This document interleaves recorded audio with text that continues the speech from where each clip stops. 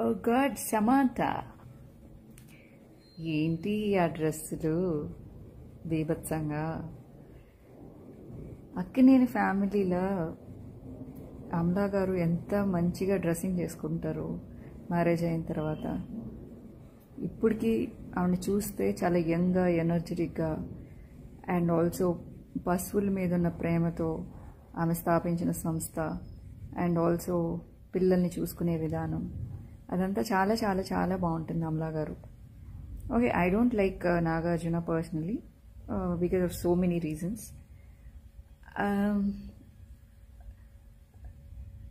as of your fan I'm not liking your dressing sense and ఇప్పుడు మా నమ్రత శిరోద్కర్ చూడండి. మహేష్ బాబుకి ఎంత సపోర్టివ్ సపోర్టివ్గా uh, ఉండి తన మూవీ ఫీల్డ్ అంటే మహేష్ బాబు ఇంత సక్సెస్ఫుల్గా ఎదగడానికి కారణం నమ్రత శిరోద్కర్. నాగ చైతన్యకి పెద్దగా మూవీ ఇండస్ట్రీలో హిట్స్ లేవు అండ్ ఆల్సో అంత క్రేజ్ లేదు. అన్ఫార్చునేట్లీ ఎందుకు అతని కెరీర్ చూసుకోవచ్చు కదా నువ్వు కూడా? ఈ బట్టలు ఇప్పేసుకుని రచ్చేందుకు అదేమన్నా పోనీ బాగున్నాయా ఆ డ్రెస్సులు అంటే నిజంగా సెక్సీగా ఉన్నాయా అంటే?